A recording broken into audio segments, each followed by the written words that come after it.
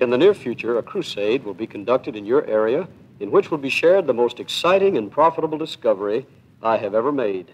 It is simply this that eternal life is not a reward, but a gift. You see, I was a victim of a tragic and widespread misconception. The misconception that eternal life was a reward earned from God by a life well lived. Now, I'm not sure just how I thought God graded. Perhaps 70 or above you passed, and below 70 you failed. Or perhaps God graded on the curve. If you're as good as the Joneses, you pass, and if not, you fail. Whether one of these systems of grading was God's way or not, I wasn't sure. Perhaps He just kept a ledger with good and bad columns, so that when we committed a good act, He recorded it, and when we committed an evil act, He recorded that. Then one day, when each of us stood before God, He would count the good and the evil, and should the good outnumber the evil, He would simply say, Enter ye in, rewarding us with heaven. Should the evil outnumber the good, He would reward us with hell, saying, Depart from me. Whichever the system, I was sure I could not know my final fate and destiny until my life was completed, the ledger balanced, and the result announced. Thus, the only course left to me was to do my best and hope for a happy ending. Now, you must admit this is a rather nervous stance to take toward one's eternal welfare, but it was the only course I could figure. Then one day, a startling truth came to me. I was confronted by a verse of Scripture 1 John 5:13, which told me that the Bible had been written for the express purpose that people might know that they have eternal life. The verse said, "These things have I written unto you that believe on the name of the Son of God, that you may know that you have eternal life." Here was this verse staring me in the face telling me that a man could know that he has eternal life. I knew I didn't know, and I didn't think anyone could know. How could a man possibly know that he has eternal life if it is a reward to be determined at the end of his life? Undoubtedly, I'd been mistaken about it being a reward at the end if it can be known en route. Then came the great discovery eternal life is not a reward, but a gift. It is not earned through life, but received in life. There it was in Romans 6:23.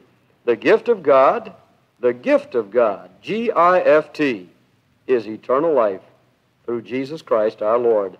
And again in Ephesians 2 8 and 9, by grace are you saved through faith, and that not of yourselves, it is the gift of God, not of works, lest any man should boast. So there it was, as big as life. Of course, a man can know that he has eternal life because it is a gift which God wants to give him now. If I said to you, I'll see you again in 24 hours, if you're a very nice person between now and then, I will reward you with this Bible I hold in my hand. Suppose a friend turns to you and says, Are you going to get his Bible? You would have to reply, I don't know. I'll know tomorrow at this time. I'll know in 24 hours. That is because it would be a reward for good behavior during the next 24 hours. And you could know only at the end of that time. Now, that's the way it is with a reward. On the other hand, if I say here, I would like to give you my Bible as a gift. Should you reach out and accept it and your friend ask, Is that yours? You would simply say, Yes, it was given to me. That is the difference between a reward and a gift. When I made the wonderful discovery that the Bible was written to show me that eternal life was God's gift to me through Christ, and that He wanted me to receive the gift and to know that I had it, I could do nothing less. I received Christ and His wonderful gift. Since that time, I have had very little desire to do anything but share this discovery with others. And what a privilege to share it with you now. Perhaps you're wondering how you might receive the gift and rejoice in the knowledge that you have eternal life. Here is God's answer to your question how? First, although it may be difficult, agree with God's description of you in Romans 3:23, where he says, "All have sinned and come short of the glory of God." I certainly know enough about myself to agree that I have sinned. Will you agree that God is right about you? Next, realize that sin separates you from a holy God and makes you dead to him, as he declares in Romans 6:23, where he says the wages of sin is death. I know that as far back as I can remember, every time I did something wrong, I felt dead inside. Didn't you? Haven't you? This is only symptomatic of what is actually happening. Sin deadens us and separates us from God, who is holy. In eternity, this separation culminates in what the Bible calls the second death, or hell. Thirdly, recognize that God, in His great love, has made provision for you in His Son, Jesus Christ. He declares in Romans 5 8, God commends His love toward us in that while we were yet sinners, Christ died for us. How wonderful.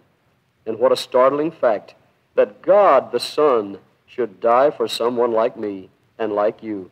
We certainly don't deserve it, and we're really not worth it.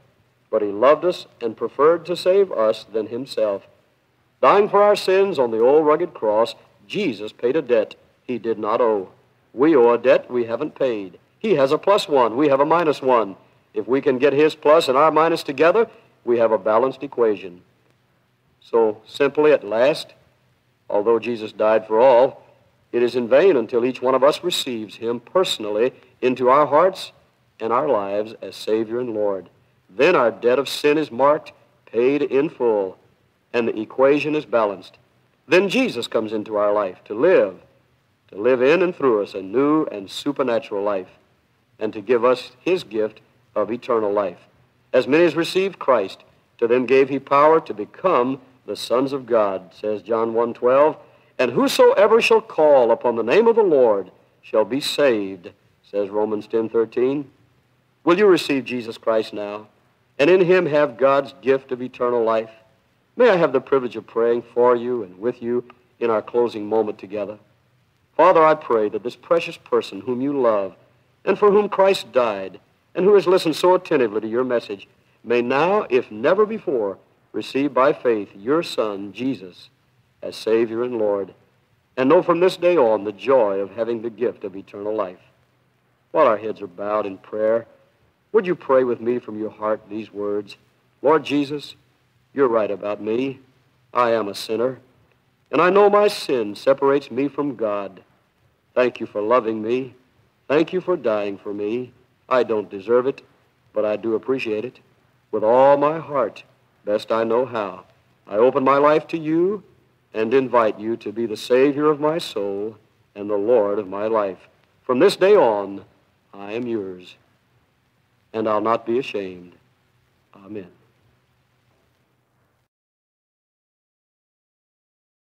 I know you've heard how Jesus died on the cross, but have you really thought about it? Have you really thought about what hell is going to be? You see, I'm praying that you will take each one of these songs directly to your heart. Ask yourself, do you want to go to heaven or to hell?